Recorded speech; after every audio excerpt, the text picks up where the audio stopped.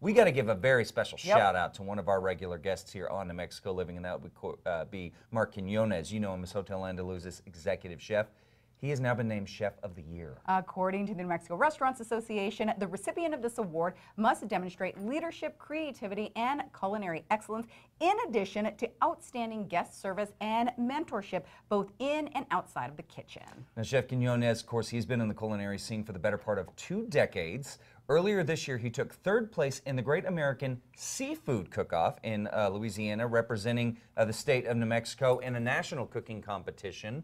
Uh, and uh, obviously, you know, he comes on all the time. Yes.